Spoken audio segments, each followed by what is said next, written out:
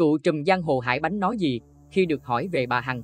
Cô Phương Hằng thì uh, có biết cô Phương Hằng. Cô Phương Hằng, cô Phương Hằng ngày xưa tên là cô Tuyền. Chú có biết cô Phương Hằng. Thấy uh, vừa rồi có chú cũng có xem qua các cái phiên tòa của cô Hằng mà thấy mọi người rất là thương cô Hằng. Hải Bánh và Đỗ Đạt Giang đều từng là trợ thủ đắc lực của Nam Cam. Năm 2006 Giang bị tuyên 7 năm tù giam vì tội cưỡng đoạt tài sản. Đỗ Đạt Giang từng có một mối tình nhiều tai tiếng với một người phụ nữ bốn đời chồng. Giang hiện đang sống tại Singapore, hạnh phúc bên người vợ trẻ, không còn đoái hoài quan tâm gì đến quá khứ. Năm 2001, cơ quan cảnh sát điều tra đã khởi tố, bắt giữ Nam Cam và đồng bọn cùng nhiều tội danh giết người, đưa, nhận hối lộ, đánh bạc, cho vay lãi nặng.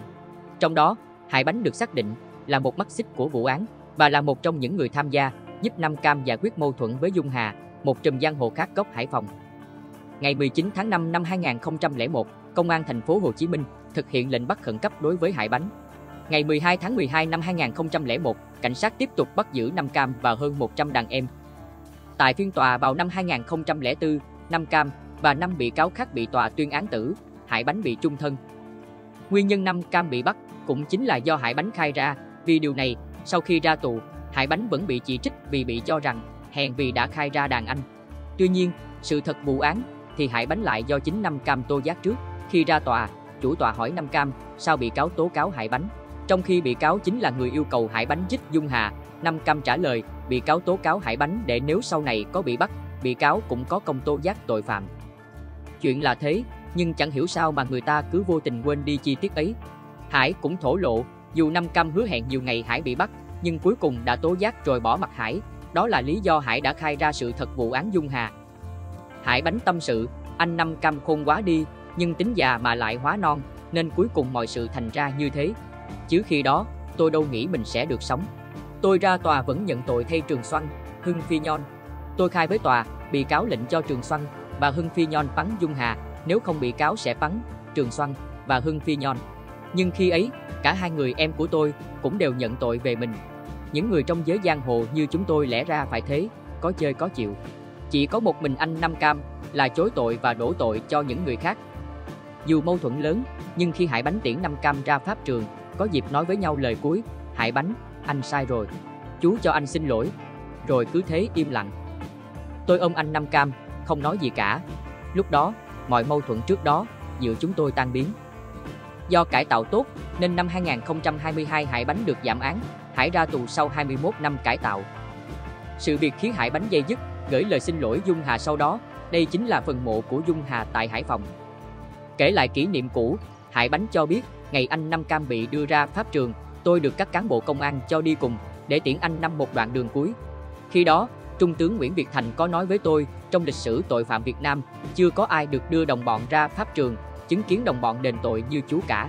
Chú sống thì chú phải dùng chính cuộc đời mình để làm bài học cho lớp trẻ, để lớp trẻ nhìn vào sự thay đổi của chú mà thành người tốt.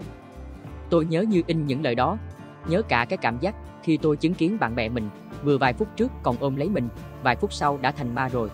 Tôi bỗng thấy cuộc sống của mình quý giá quá. Vì người ta phải chết, còn tôi thì được sống. Dù là án chung thân, nhưng quan trọng là tôi vẫn còn được sống.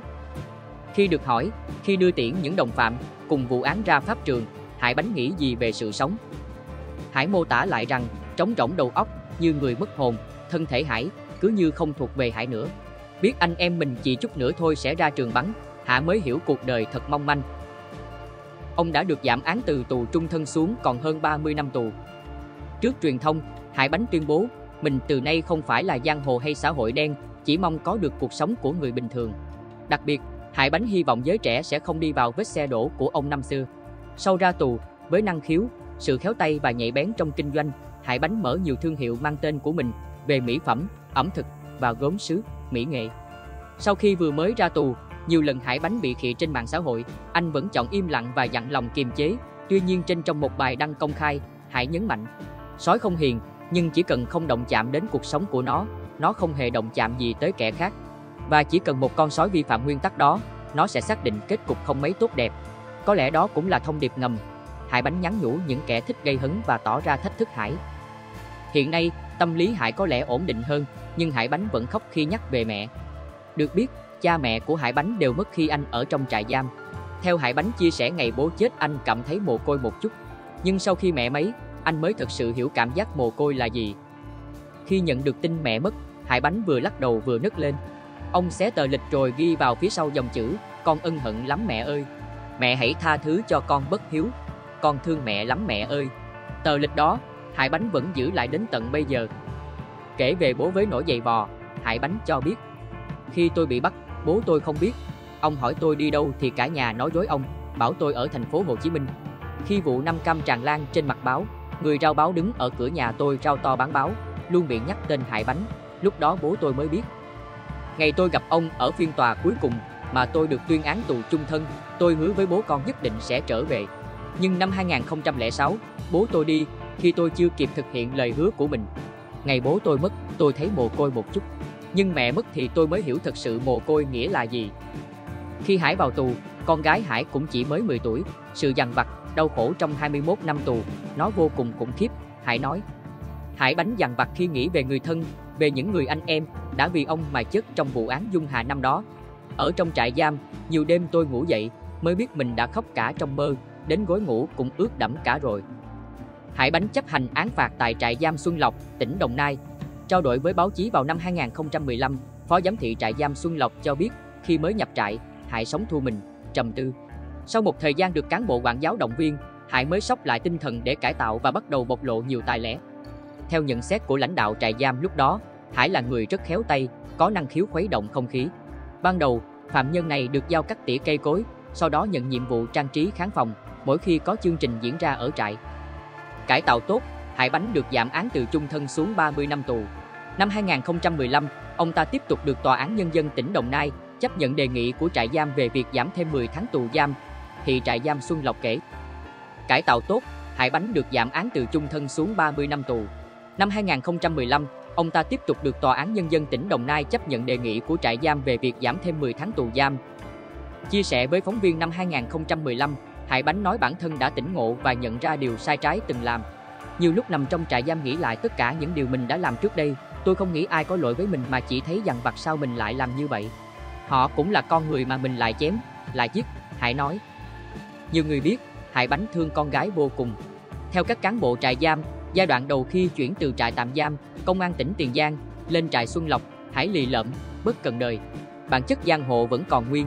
Thế nhưng khi các quản giáo luân phiên đấu tranh, và nhất là dựa vào điểm yếu của Hải là tình thương với con gái để thuyết phục, động viên, thì Hải thay đổi, chịu tiếp thu và yên tâm cải tạo. Sau khi ra tù, Hải Bánh vẫn được con đón nhận, yêu thương.